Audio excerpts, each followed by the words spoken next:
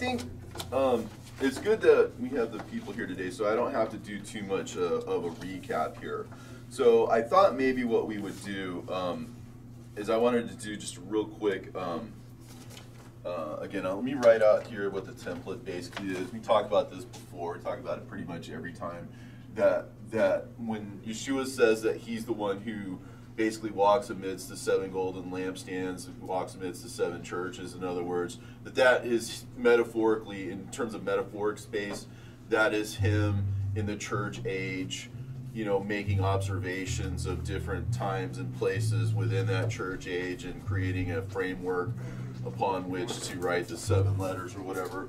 We have, uh, again, the first church is the church of Ephesus or whatever. And if you if you read um, what he says about them and their works, you'll notice that if just on the surface of it, these people seem like they're really, really good Christians, like really straight up good Christians. He says, I know thy works and thy labor and thy patience, and thou canst not bear them which are evil, and has tried them which say they are apostles and are not, and has found them liars. So they're discerning, right? They're they're they're fighters. They're out there, you know. I mean, so these are good people, right? They do have a rebuke. It says that thou hast borne and thou hast patience, and for my name's sake thou hast labored and not fainted. So they're tireless people. Nevertheless, I have somewhat against thee because thou hast left thy first love. So this is just to underscore the fact that you can do everything right, right? But if you don't have that first thing, if you don't have that love of knowledge, if you don't have the love of the truth, right, you're going to fall from that that grace that you had, right, in that knowledge, right? So these people lost sight of what was most central in Christianity, and so therefore they kind of fell again, he, he mentions that also. He says, Remember, therefore, from whence thou art fallen, right? And repent, right? So, in other words, how do you fall? You fall from something higher to something lower, right? So, if you're if you have a higher level understanding of the scriptures, if you can read deeply into them, in other words, and you can recognize the heavenly language, in other words, you hear His voice. Let them have that have ears, let him hear you know what I'm saying? The idea is that you're hearing on a spiritual thing. So what they've fallen from is the spiritual level. Probably, in no small part, they probably got drawn into fighting for you know the truth and fighting these apostles, and probably got dragged down into their arguments and to their level and, and fighting them all the time. They, they may just have lost their focus and just lost sight of that. So these, this particular church, if you want to call it the first church, seems to have fallen from a higher level understanding. That, and again, what I'm trying to, to, to create is that the Catholic letters, or the general epistles, in other words, as they're sometimes called, often if, if you read through them, there's this underlying theme of this the, the attack against the teachings, the attack against the apostles. You can really see the the the the idea that Satan is really fighting something here. He's fighting the apostles. He's got he's got some kind of motivation to keep them and their teachings down. Um, and it talks about in Second Peter, for example, um, that you know if you remember his words or whatever, that that you will not fall, right? So the idea is that um, that um, that what Jude and um, Peter coming together is kind of teaching us is that there's these people infiltrating the church that they're subverting the truth. And he speaks about them in the most derogatory ways. You know, he talks about the, the dog returns to his vomit and the swine, the sow. That, you know I'm saying? He's calling these people dogs and swine and other unclean things. You know what I'm saying? So he speaks very harshly against them.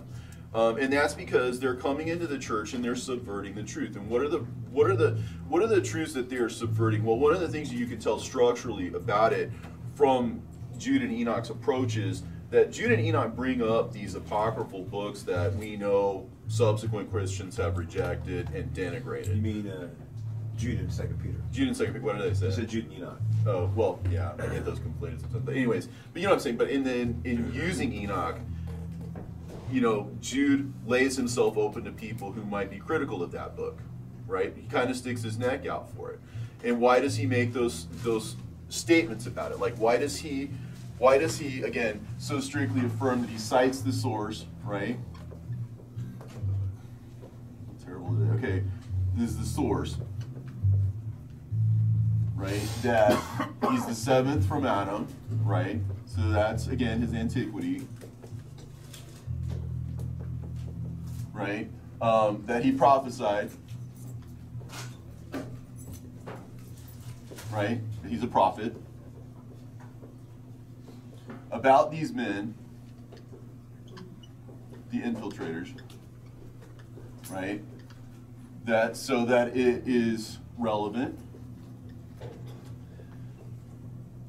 to his age, right? So it's not just something that was over with during the flood, right?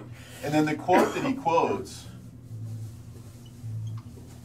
right, is the same quote as we have in the book of Enoch. So we can identify the source by name, right? So what Jude might as well be saying is look, the book of Enoch is ancient, the book of Enoch is prophetic, the book of Enoch bears on our age and the people who are infiltrating our church, right? And that the quote has to do with the Lord's coming. So it will be relevant at the time of the Lord's coming. The, the piece that you can add to this from Enoch is that Enoch says in chapter 1, right? The very first thing it says, and again, the quote is from chapter 1, Enoch 1 9. Behold, the Lord cometh with 10,000. So that's the concluding section of that first chapter. So if he's read all the way down to verse 9, I think it can be presumed that he's read, you know, 1 through 9, right? The idea is that the words of the blessing of Enoch wherewith he blessed the elect and righteous, who will be living in the day of tribulation. Again, the Lord cometh, right? When the wicked and the godless sort of be removed, right? We'll be living in, in, the in the day of tribulation when all the wicked and the godless are to be removed. And he took up his parable and said, Enoch, a righteous man whose eyes were opened by God, saw the vision of the Holy One in the heavens, blah, blah, blah. And it goes all the way down to, um, and it says that, but it is not for this age, but it is for an age to come. It's for the time of the removal of the. So, in other words, you're going to have Enoch taken out of circulation, right, and returned at some point. So, here within the confines of just about everybody's canon, Almost. What was that church you said that didn't doesn't formally accept them? Is it the uh, The Assyrian Church of the East. Okay, so in other words, but virtually every canon has Jude in it and Second Peter. Okay, so virtually every. So in other words, if there, if these two form a mechanism whereby the statement can be made that this book of Enoch, which is this book, because the quote matches, right? So yeah, he's covered that base, right? This is that, all right?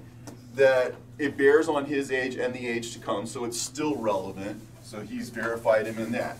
That he says that he prophesied, therefore it is prophetic, right? So the book is prophetic, right? He's vouching for its antiquity. You can see the the, the critics saying this is not ancient, this is not credible. You, that's what they're saying now. The whole reason that it's in a book called pseudepigrapha is that word pseudepigraphy means false writings, falsely attributed writings. So our our current understanding of these books is that they are fables, that they are fake books. That's our current Christian understanding. So we're saying he's affirming that they're that they're ancient, right? And of course, he's not afraid to name the source by name. So this book is ancient, prophetic, that is relevant to their age and is relevant to the age to come. Th- This is literally what Jude is saying. And we see almost incontrovertible evidence that this book was brought before Peter because Jude makes apostolic claims. He says that this was something that the apostles taught, right? So it's not just him, he's not just a one off, right? He says to fight for the faith, right? So evidently, this book is brought before Peter. Evidently, this book is brought before Peter with certain questions. And the questions are obviously derived from the answers. The answers are we did not follow cleverly concocted fables when we told you about the power and coming of our Lord. Again, the Lord cometh with, that's the coming, ten thousands of his saints to execute judgment, that's the power, right? So this is not, so Peter is saying this is not a cleverly concocted fable, right? So what you get is that the people who are opposing the, this book are also opposing Jude, are also opposing Peter, right? So you can you can just logically deduce, like you don't have to even be a Christian to make that logical conclusion. Christians have a tendency to negate this stuff because we, we rationalize. We start with the conclusion that the canon is right, and we work backwards from that. We say because there's only these 66 books or whatever it is that's in your canon, right? And Enoch lies outside of that. The decision has been made. The it's fixed in stone, so to speak, right? Anything outside of that is questionable at best. You know what I'm saying? And Christians don't don't accept it. The idea is that this is brought before Peter, all right, and this is what we see. Now, again, what, what are the questions that he addresses? We talked about when he says that the, we weren't following cleverly concocted fables when we were telling. So he, obviously, people are saying that this is a cleverly concocted fable, which makes sense because they're still saying it's a cleverly concocted fable. They're calling it a pseudepigraphon, right? So, in other words, everything that Jude is affirming, man is denying. Let God be true, and every man a liar, right? So, in other words, it is the way forward in Christianity going to be this constant negation of what is there based on the idea of the canon. The canon has is, is a forced idea that is from the top down and from the outside in, right? The idea is that it's manufactured, like literally created by men. So that by negating Enoch, you're also negating everything that Jude is saying and basically everything that Peter is saying as well in the process. So this is where we're at, right? So if these things are true, right, and they can be shown to be true, all right, then what is the direction that the church is taking? Well, clearly, what I what I'm talking about here is clearly not what the church has been saying all along. It's a it's a uh, it's a negation, if you will, of Jude and Peter, and so the idea is that this clearly was lost, right? So this could easily be from where they have fallen. They have fallen from the state where they can affirm what the apostles believed. And now they can't do it. Because what the apostles believed is something that was negated. Right? So now they've fallen from that. Now the next church is the uh, church of Smyrna. Right? So they're the ones who, um, how should I say, Okay, let me just read it. It says, Under the, the angel of the church in Smyrna, right? Um, th- write these things. These things saith the first and the last, which was dead and is alive. I know thy works and tribulation and poverty. Again, uh, you don't have to be in a, in a, super duper rich church or whatever to have the church, you know, to have the, the truth. You know what I'm saying? Uh, it's been said about this particular congregation, and any one of us could stand up and, and teach, which I think is true. You know, a lot of this is kind of us preaching to the choir, but you know, of course, we obviously have the extended audience that we're preaching to. Uh, but nonetheless, it doesn't require wealth in order to have the truth, because the truth is the true wealth. And, if, and, and, and the underlying message of these books is that by chasing after the world and by chasing after worldly wealth, right, that the truth gets lost and that we fall from the original understanding because we're looking for consensus, we're looking for agreement, you know, we're looking for, you know, uh, go, you got to go along to get along or whatever. And that's essentially what the canon is it's a consensus. And so we live in a consensus reality. Uh, we all agreed to be Christians in this building. We've all agreed to the 66 books by being Protestant or whatever. And if you happen to be Catholic and there's 70 odd books in that, you happen to agree on that or you know if you happen to be Armenian or whatever and you only agree on 25 or 24 out of the 27 books or whatever you've just agreed to that. It's all consensus. So it's all subjective. It's subject to men's thinking right? And so that's the trap. The idea is that the canon eliminate or limits your thoughts to what's inside of this box. And so when things outside of that box get mentioned they also get negated. You have to say like how many times have we read the uh, the disclaimers? If you follow the notes in Jude 14 and 15, for example, and you happen to have a you know a somewhat more scholarly Bible with footnotes, if they're going to mention it at all, generally speaking, they're going to be very dry about it. They're going to just say very categorically, for example, uh, you know, uh, quoted from the non-canonical book of Enoch 1.9 or something. I think I read that one one time. And I've read other ones too that's like, oh, well, just because he mentions this doesn't mean the whole book is, you know, inspired or whatever. But I mean, he clearly, he clearly is saying it's ancient when scholars are saying it's not. He's clearly saying it's prophetic when Christians are saying it's not. He's clearly in dis- we are clearly at variance with what he's saying. And what I'm saying is this is what's happened in the church. This is how we've fallen. Right? And the Bible spells it out because it leaves enough information here for you to glean this if you just look at it and believe it. Right? All you have to do is go along with what they're saying. All you have to do is read what is there, and you will come to an entirely different conclusion than what you're taught. So, um, again, so this is where you get the first mention of the synagogue of Satan. This is where you start seeing um, Satan mentioned. There's a sort of a satanic arch art in here that I've been trying to get to, but I want to establish everything kind of first. And so now, so the idea is that with these guys, you have the first mention of the synagogue of Satan. Which which city is that? Um, Smyrna. So Smyrna's mentioning the synagogue of Satan. Yeah, the the the first thing he says, um, yeah, it says, "I know their works, thy tribulation and thy poverty." Right? They're the poor church, but they're also rich. They're poor in this world because they're rich in the scriptures. I mean, uh, presumably they're not looking at that. They're not going for the numbers. They're not looking for just butts and seats. They're looking for you know the the truth, right?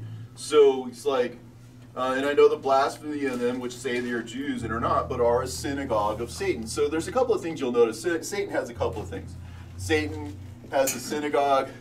What is it? He has a seat, right? The seat of Satan or the throne of Satan. That's in Pergamum. Yeah, but I mean, it's just the things that are centered around Satan in his Right. heart, right? And then he also has the the depths.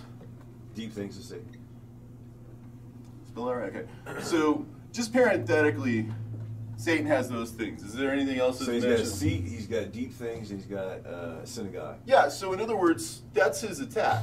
claims to be the I Right. need to, like I said, this is you can look it up online, but it's very fascinating how in in Berlin, I, I mentioned this before, but you had this this huge temple, and I saw it because uh, my brother lives in Germany now. We went over his, his uh, uh, wedding over there, and so we spent some time went to Berlin, and they actually have the what they think was this, it's it's this temple that looks like a throne. They think that was the, the synagogue of Satan. And what happened is, I guess you had the Ottoman Empire is the old man of Europe, and so they just took it apart and they reassembled it in this uh, uh, museum in, in Berlin.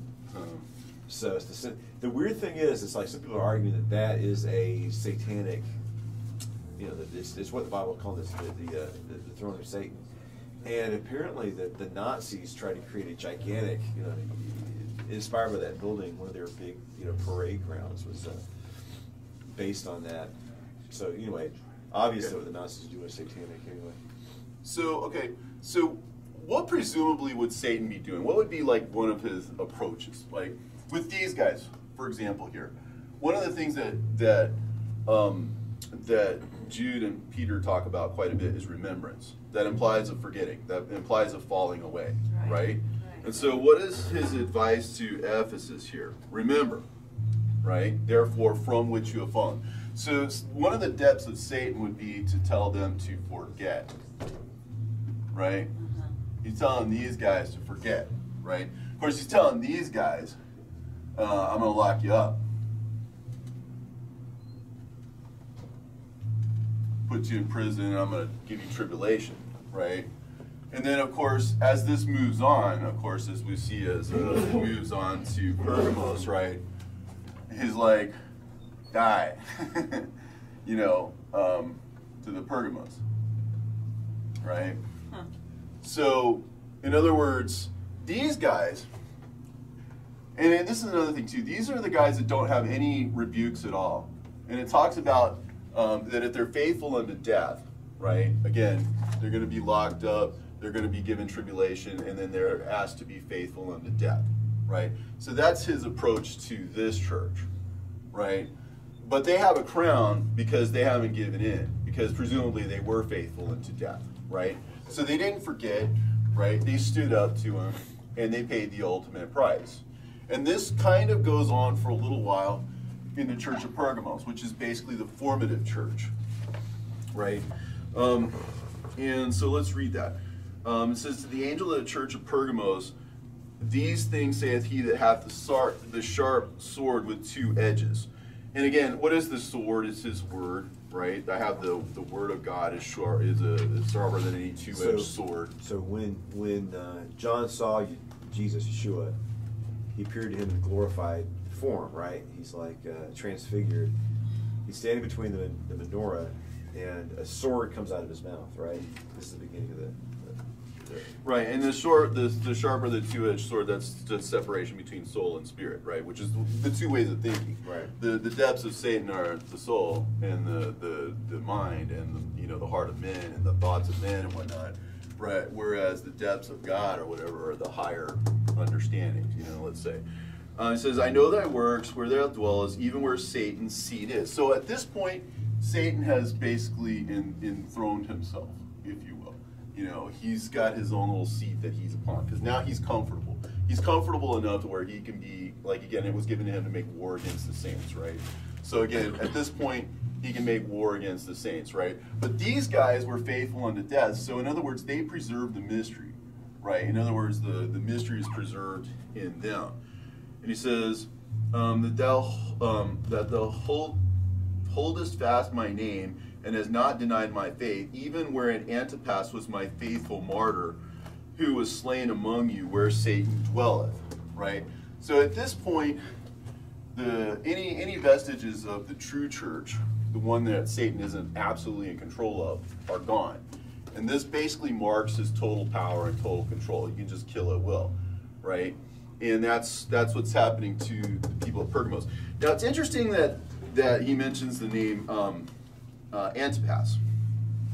Now, either a name means something or it doesn't. We talked about Nicolaitans, right? How helpful it was to understand what that meant because it, it, whether it's true or not, it's consistent, right? And I'll put it that way.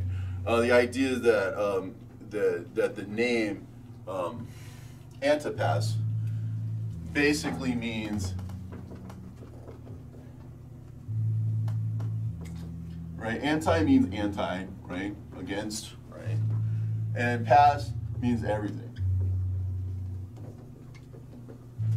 right?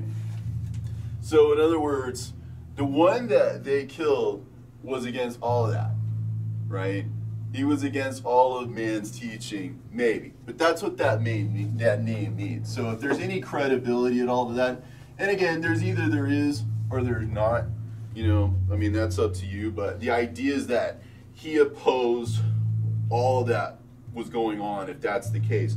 And where that riffs, I think, off of the scriptures is where it says, Let God be true and every man a liar. Because in a lot of ways, we're called to be against everything that came before us.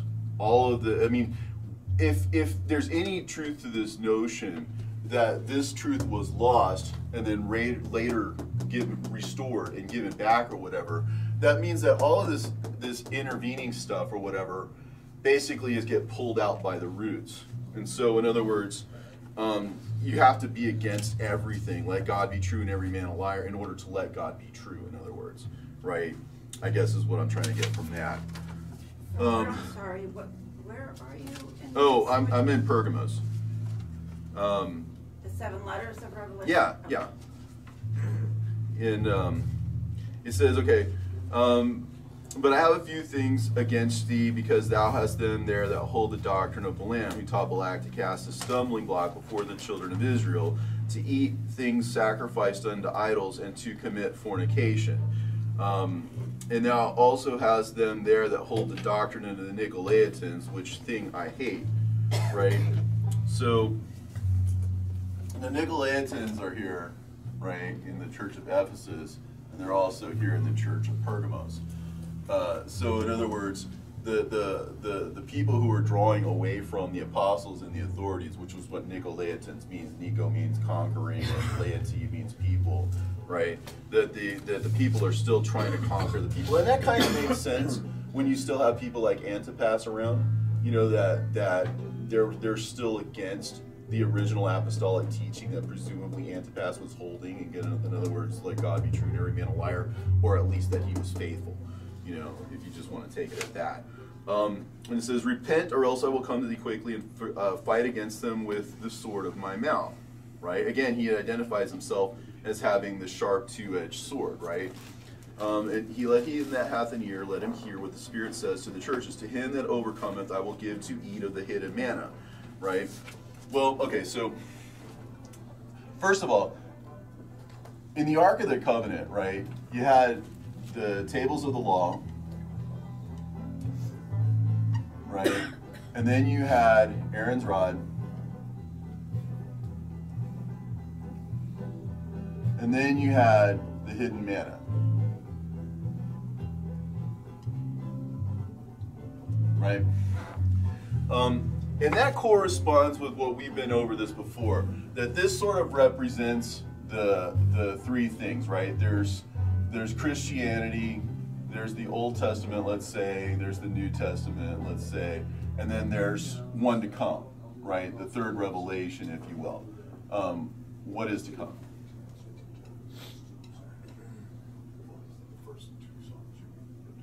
That's why you see this in the future tense, right? Because Aaron's rod, again, it undergoes a transformation. It goes from just being a rod to being tested overnight. So this is a metaphorical night, right? And then it bears, you know, branches and fruits and all this other, you know, from it. So it go, undergoes a transformation. So the idea is that the scriptures then, because that's our rod, that's our canon, in other words, cane and rod are related terms, right?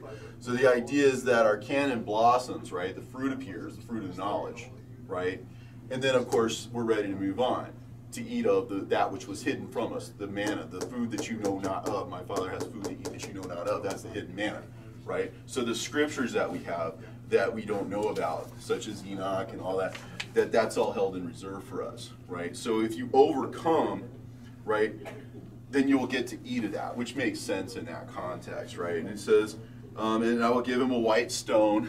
And again, um, there's again, if we consider that this is a stone and that this is a stone and that this is a stone, let's say, um, again, you see at the at the temptation where the devil says, oh, "Okay, take these stones and make them bread," right? The idea is that you're taking what is not edible, which is to say, the the scriptures in in the fleshly form are not the spiritual food that they are when they're transformed. So again, it's kind of the transformation. You're taking from something that's barren and, and making it fruitful. You can't eat the, the rod, but you can eat the fruit. You see what I'm saying? The idea is that you're going from non-edible to edible. So the idea is that now you're given this third dispensation, if you will, right? Even Yeshua himself is compared to a rock or a stone. You know, uh, the idea is that he is the logos, he is the word of God, he is the door. There's a lot of metaphors that apply to him, but they all boil down to him. And he is it, and they are them, or they, they are him. Um, and there's the new name, right? Again, he's talking about them. I will give them a name, right? So, in other words, he's talking about them before. He's naming them, right? So he's calling out their existence. I have sheep that are to come, which are not of this fold. He's naming them. You see what I'm saying? Uh, they will hear my voice. They will hear my language. You See what I'm saying? He's talking about them. So they are named, right? So if you accept it, nobody has it unless you accept it, right? It says that, yeah, no one has knows even unless they receive it, right? And see, the, the doorway to this knowledge is to let God be true and every man a liar, to oppose every doctrine of man, right? And in a way to be the faithful witness, to be Antipas, in other words. The idea is that you that you stand in the face of all of that, right? And you're faithful to the end, and therefore, you know, like these guys, eventually you'll be given your crown of life too, right? Because he speaks to the churches, not all, not just one. And he says, okay, moving on. To the angel, uh, the angel of the church of Thyatira, write, These things saith the Son of God, who hath eyes like unto a flame of fire, and his feet are like fine brass. Uh, I know their works, their charity, their service, and their faith, and their patience, and thy works, and the last to be more than the first. Uh, again, because in the church of Thyatira, right, this is this is what it basically amounts to the, the, the time of the Catholic Church. Like this is a formative church, right? Where some of the martyrdoms take place over here until those guys are all gone. And then what's left or whatever, because you still have the Nicolaitan, Nicolaitans at this point, right? They're just going from bad to worse.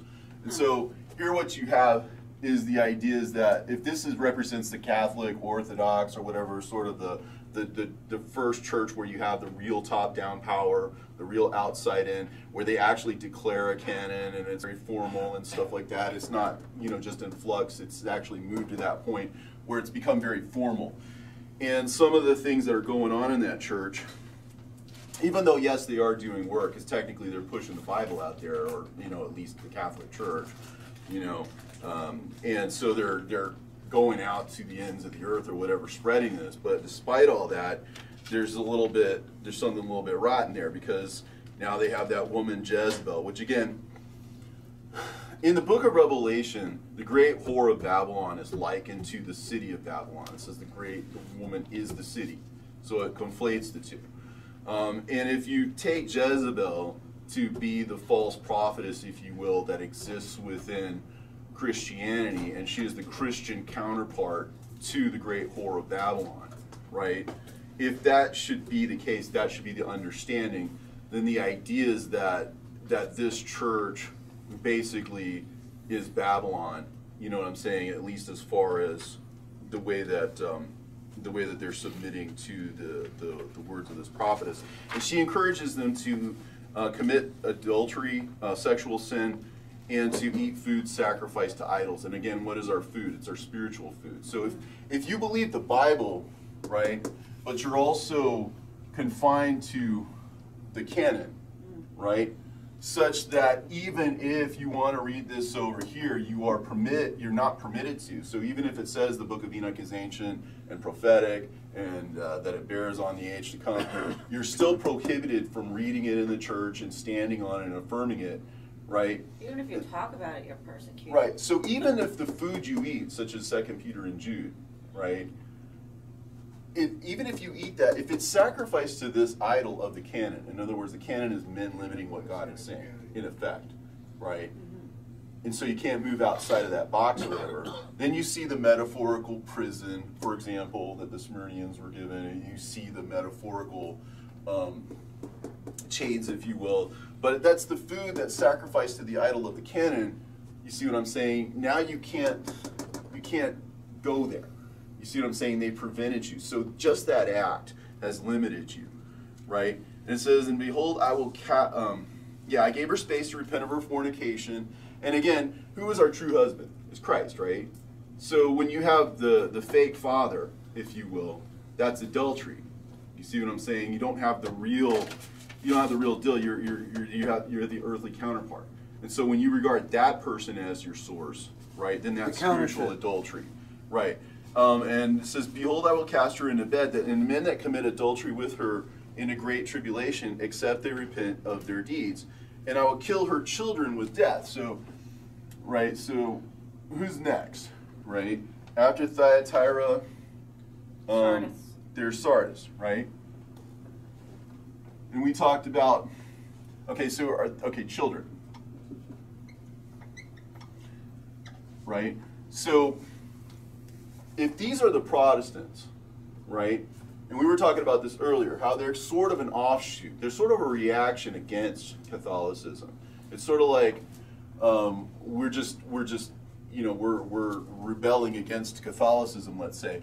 But it says i'll kill our children with death right? So what is death? I mean, we read in the Gospel of Thomas, whoever comes to understand the meaning of these words will not taste of death, right? So death is a function of not understanding his words. So you come to life, in other words, by understanding. So the idea is that understanding brings life, not understanding brings death, right? So since you understand these things and now have eyes to hear and ears, you, you have this direct thing where you have a relationship with the Logos and you don't need some intermediary to explain it to you right? You don't have somebody to tell you that this is in, this is out, this this is right, this is wrong. You can see with your own eyes, with your own ear, right?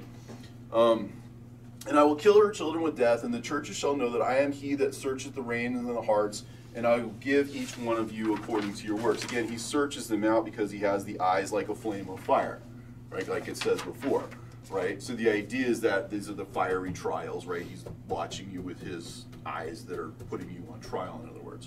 Um, so, but he says you have a reputation that you were alive, right? Just like the illusion of wealth, the illusion of, of, of life, right? But you're not, you're dead, right? So they killed the children with death. So these are their children, right? So they're dead. They have a reputation for being alive, but they're not. He says, I know thy work. Um, yeah, that thou, that I know their works, that thou hast a name, that thou livest, but thou art dead. Be watchful and strengthen the things which remain. Well, what remained to them, right? The Catholics had the Apocrypha, right? They had that, at least. That was what they were left with, right? And then that got passed down to the Protestants, right? And he was saying, look, at least keep that, right? At least be faithful in that, right? But of course, they didn't because we know that they nixed that. They got rid of it, right? So, um, yeah, it says, be watchful and strengthen the things that remain. So that instead of strengthening them, they got rid of them. Um, and the things which are ready to die. Again, the scriptures that were ready to die. Um, they were on the bubble. They were questionable at the time, in other words. Um, Remember therefore how thou hast received, right? They received that, and heard, and hold fast and repent. Therefore, if thou wilt not watch, I will come upon thee like a thief, right? Again, these books will be taken away from them in that knowledge, and I will come upon thee. Thou hast a few names even in Sardis which have not defiled their garments, and they shall walk with me in white, for they are worthy. He that overcometh, the same shall be clothed in white raiment, and will not blot out his name out of the book of life. And I will confess his name before my Father and before his angels. And then get to the Church of Philadelphia. All right. I know I'm running long here, but I'm trying to make it quick. So we talked about what the Church of Philadelphia, right? It was one of two churches that did not have a rebuke. Smyrna did not have a rebuke. Apparently, they didn't do anything that was worthy of a rebuke in um, in these letters, and neither did Philadelphia. He says, "These things saith he that is holy and he that is true." So if you come to understand that he's true, in other words, what we say that he that when he says that Enoch was ancient, he's a prophet or whatever, we understand that that's true, and we understand the, the holiness of his words or whatever, right? Then that's sort of kind of the recovery. He that um, hold the key of David, he that openeth and no man shutteth, and shutteth and no man openeth. Again, that's like a door, and the door is like the scriptures, and Yeshua even says that about himself. I am the door, right? Um, so the idea is that now the door that was shut by these people, right? That is to say, the door to these other scriptures that was shut by the canon, that was shut by their authority, right? Now that's been opened, right? Right? And there's no, and so now you follow the Lamb wherever he goes. If he says this book is in, right, then it's in. See what I'm saying? Because you're you're going there, right? So these people have the ability to recognize the open door, right? So now that's the recovery of the mystery. So that's why they're next to last, right? Because they have to precede those that they teach, right? so they have the, the key of David, so you can open up the scriptures, in other words, and recognize that they were shut. And remember Peter, right? Peter was given the keys, right? So that what he bound on, on earth would be bound in heaven, and what he loosed in heaven would be would be bound on earth. So you get to heaven and earth, right? And then Peter talks about, I want you to recall the words that were spoken in the past by the holy prophets. Those of you who come to a like faith as what we had. In other words, by me, by way of remembrance. In other words, there's going to be a falling away and a forgetting, but then you'll remember, right? That's that was the key, and that was why it makes sense that Jude was brought before Peter, because by not answering the question directly, by by bringing it by way of remembrance, right? Then it could be then it could be forgotten and then restored, just like the Book of Enoch would be forgotten and then restored, right? The idea is that it's lost and found, right?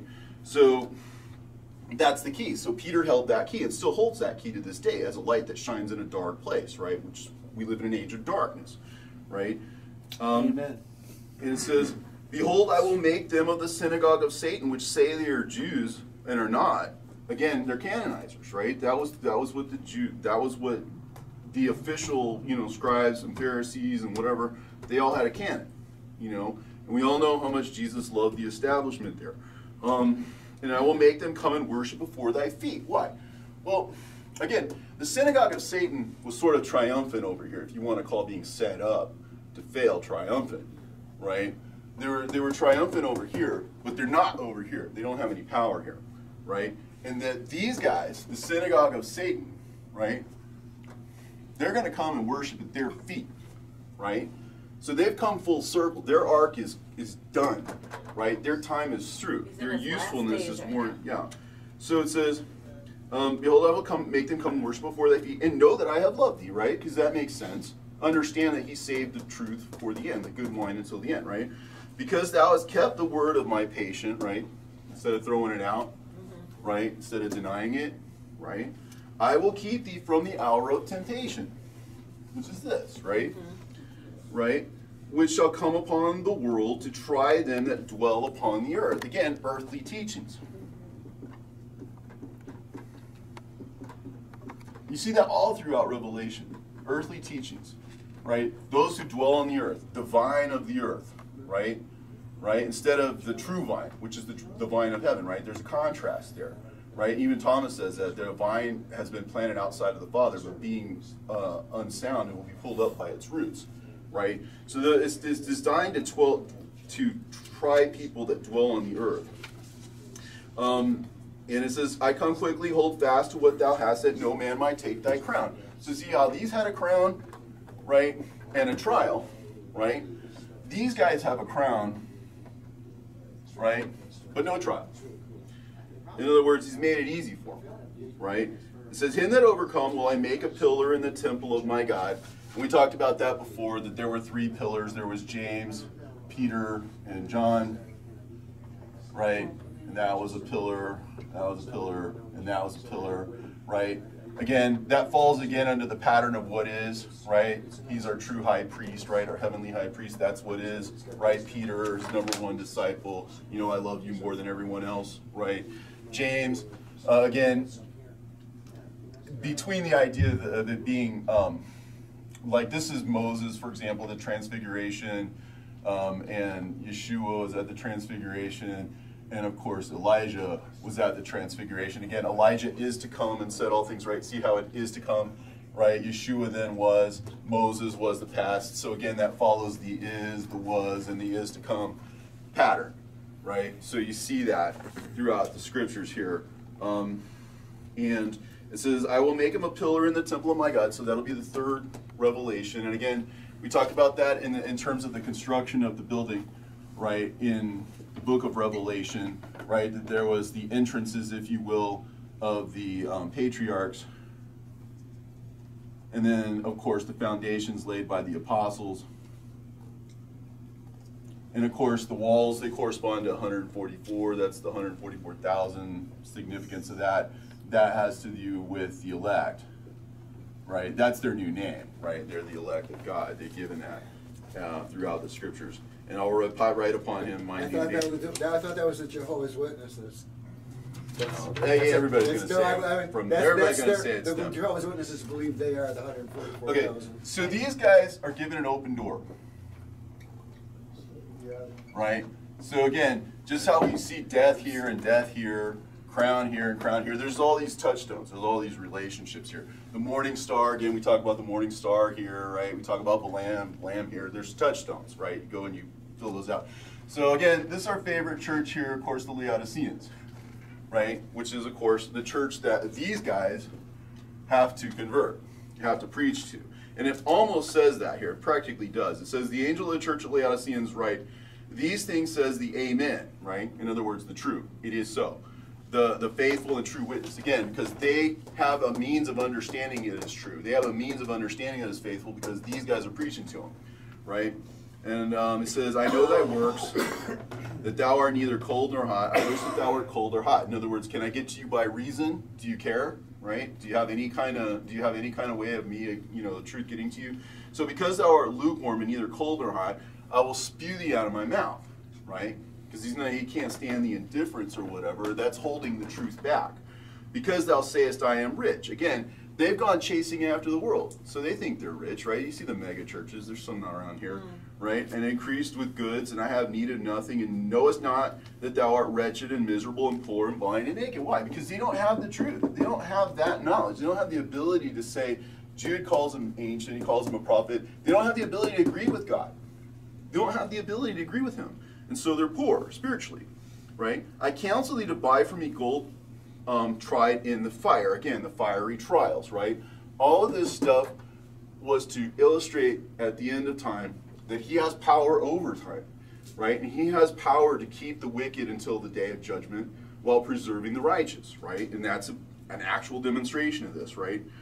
Um, and he says, you, you know that you're not, um, that you're wretched and miserable, poor, blind, and naked, right? Because they don't have the spiritual truth.